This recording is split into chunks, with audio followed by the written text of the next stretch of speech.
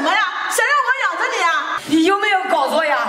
这里是我家，是我儿子家，你凭什么赶我走呀？我儿子都走了，你还要把我往外扔？我这么大岁数了，我能去哪呀？我今天我哪都不去。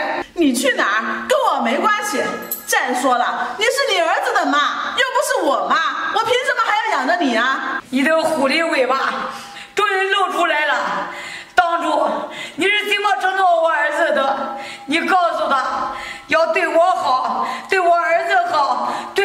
对这个家好。现在呢，我儿子刚走，你就要把我赶出去。你这个恶毒的女人，坏女人！你个死老太婆，你要认清现实。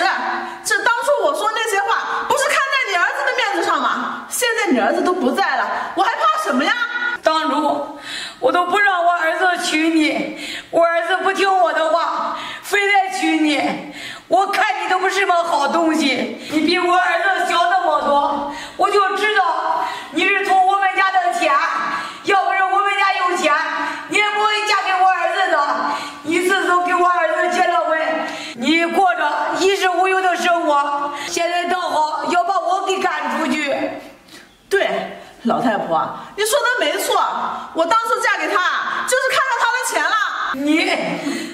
不过现在你知道了又有什么用呀？这个家现在是我。我告诉你，现在你儿子不在了，这个家还有他一切都是属于我的，跟你没有任何关系。你你想得美，这些东西我是不会让他落在你的手里的。哼，你说的不算，我才是你儿子的第一继承人。你想得倒美，我还有大孙子呢。哼，说你是老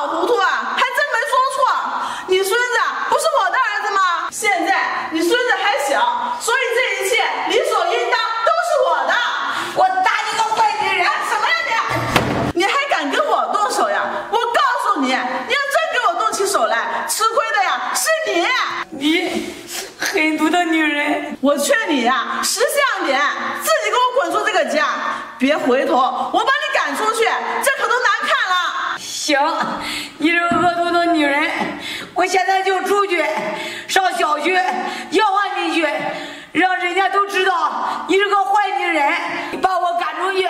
哼，你爱怎么吆喝怎么吆喝，我呀不怕。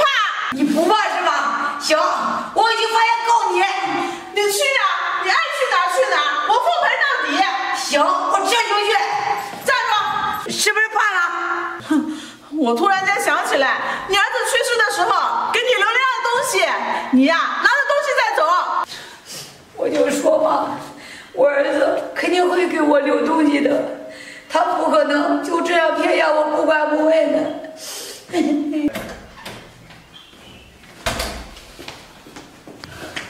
拿着吧，你儿子给你的，怕你太思念他，所以给你留了件衣服，让你睹物思人。儿子，你的命怎么这么苦呀？行了，要哭到外面哭去，别在我这儿哭。这东西也给你了，赶紧滚吧。行，你给我等着。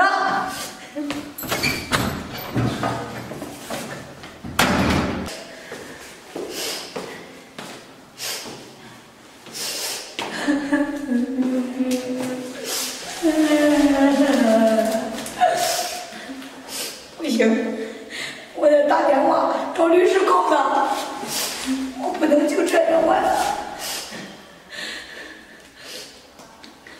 喂，珊珊，啊，是我，你有没有认识律师的朋友呀？有啊，那你帮我找个律师吧。我要告小梅，她霸占我们家的家产，还把我赶出来了，我不会放过她的。行，我知道了，我等你电话。你说说你，撇呀我们就走了，给我留一件衣服，办什么用呀？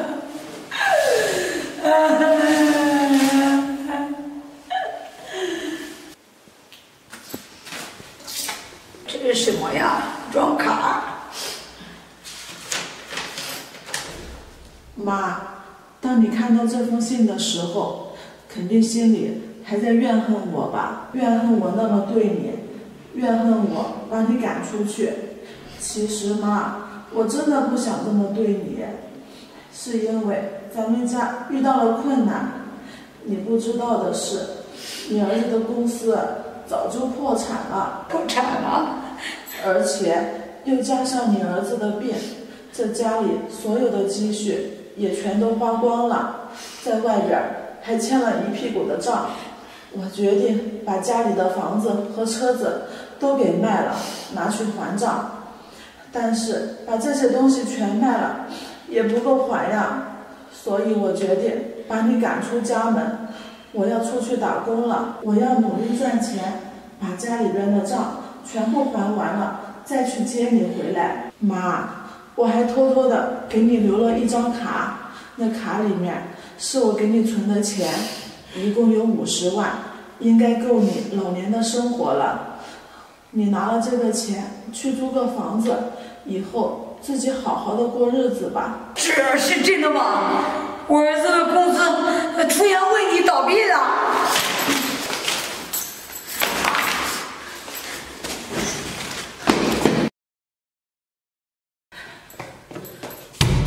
姐姐，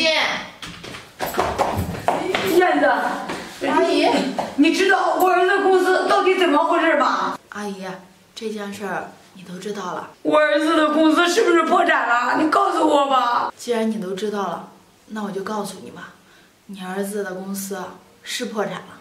这怎么会是这个样子呀？我怎么一点消息都不知道呀？你儿子生前啊是怕你担心，所以才把这件事情瞒着你呢。原来这都是真的，我现在总算明白了。阿姨，你也节哀顺变。哎，阿姨。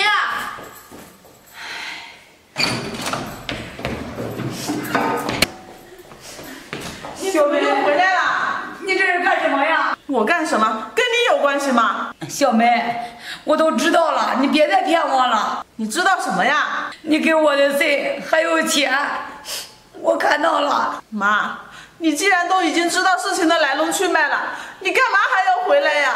你这不是辜负了我的一片苦心吗？我这么对你，就是不想连累你。你说你现在回来干什么呀？小梅，都是我不好。之前我还误会你，我觉得你贪图我们家的财产，我还跟你吵架，这一切都怪我，都是我不好。我现在总算明白了，你所做的这一切都是为了这个家好，都是为了我好。妈，既然我跟你儿子是夫妻，那我就应该替他承担起这个责任。我答应过他要好好照顾你的，我就一定会做到。不管遇到了多大的困难，我都可以自己扛。我不想让你也牵扯进来。小梅，都是妈不好，是妈误会了你，还对你说了那么多恶毒的话。你为这个家承受的太多太多了。你说说你怎么那么傻呀？虽说我年龄大了。我也可以帮助你分担一些呀，小梅，你放心好了。无论这以后有多大的困难，我都会和你一起面对的。我相信，不管多大的困难，我们一定会度过去的。